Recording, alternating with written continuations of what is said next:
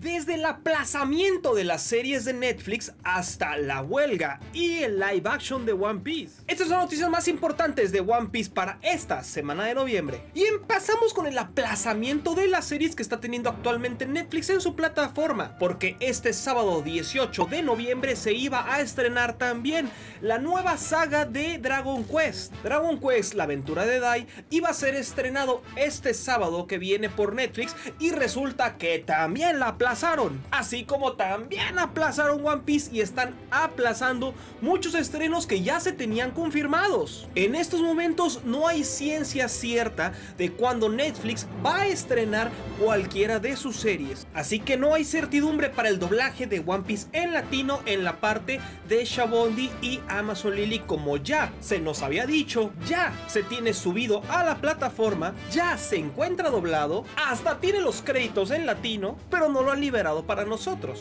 Mucha gente cree que es por la huelga de actores, pero en realidad no tiene nada que ver, porque son divisiones diferentes en este caso, uno es anime y otras son las producciones grandes de Netflix. Por lo que hay que esperar a ver cuándo se le antoja ahora sí estrenar los nuevos episodios del doblaje de One Piece en latino a Netflix. Y hablando de la huelga de actores y el probable por ahí metidón de pata que está metiendo Netflix, acaba de terminar la huelga hace unos cuantos días y Becky Clemens, productora del live action de One Piece, rápidamente saltó el guiño y nos dijo que de 12 a 18 meses una vez terminada la huelga de actores estaría lista la nueva temporada de live action de One Piece. En lo particular se me hace muy buena información porque la primera temporada duró que 3, 4 años, por lo que 12 a 18 meses se me hace un tiempo express para la nueva temporada de live action de One Piece. Pero sin duda esto de que se terminara la huelga de actores le da pie a más continuidad en esta serie. Pero Netflix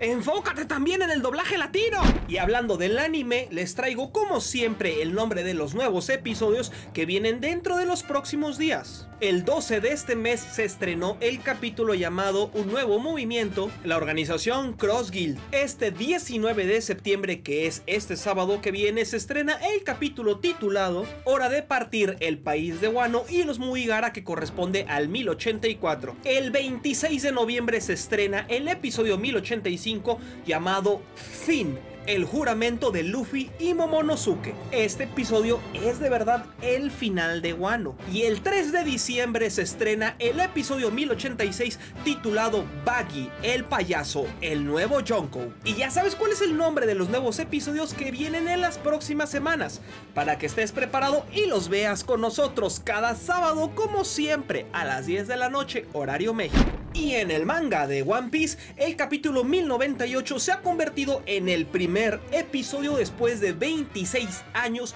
el cual Eiichiro no ha podido terminar y entregarlo completo. El capítulo 1098 venía con unos cuantos bosquejos de cómo deberían ser las partes de algunos cuerpos de los personajes, pero Eiichiro Oda no entregó a la Shonen Jump el manuscrito completo. Hasta el momento no se ha revelado la razón de este, si es por algún tipo de entretenimiento que tuvo Oda en la semana o por algún tema de salud en su cuerpo o mental, pero le deseamos lo mejor a Ichiro Oda, creador de One Piece, y que por favor se cuide, porque no ha habido como tal un pronunciamiento oficial de cuál fue la razón por la que no entregó el capítulo. No podemos quejarnos por un capítulo en 26 años, pero veo por ahí algunos fans que luego teorizan que muy probablemente Oda ande por ahí enfermo. Esperemos que no. Pero vamos a la siguiente noticia, y es para los afortunados que tienen el juego de Pirate Warriors 4, ya que va a venir un DLC que va a incorporar nuevos ataques para Luffy en su etapa de GR5, así como también vendrán otros tres personajes nuevos, incluyendo a Uta en Pirate Warriors 4. Esta nueva expansión va a venir relacionada con la historia de Yamato y se espera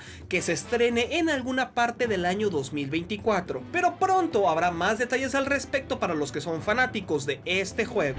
El volumen 107 de One Piece que se estrenó hace unas cuantas semanas lidera como tal el ranking de popularidad y ventas, como siempre, con más de 890 mil copias vendidas hasta el día de hoy. Que probablemente cuando veas este video ya van a ser 900 mil copias. Pero como siempre, muy buenas noticias para el manga de One Piece que ese nunca falla. No como Netflix. Y ya casi para terminar dos cosas. La primera, suscríbete al canal. Y la segunda, One Piece Film Red se convierte en la séptima película más vendida en la historia de Japón, con una recaudación de más de 20 mil millones de yenes, o se hace como 3 pesos. One Piece está en el top 7 histórico de las películas en Japón que más recaudación han logrado. Claro está, arriba de él se encuentran ya películas como Titanic, Frozen, etc. Por lo que si creían que no podían sacarle más jugo a One Piece Red, créeme que pueden sacárselo y todavía más. Ese hueso de durazno no está seco, dice Toei. Deja abajo en los comentarios todo lo que quieras decir sobre este video. Muchísimas gracias a los miembros del canal que con su apoyo nos ayudan a mejorar en todos los equipos para tenerte a ti mejores videos. Un saludo a Giselle, la última miembro del canal en unirse. Muchas gracias por verme, mi nombre es Hicarino y como siempre, adiós.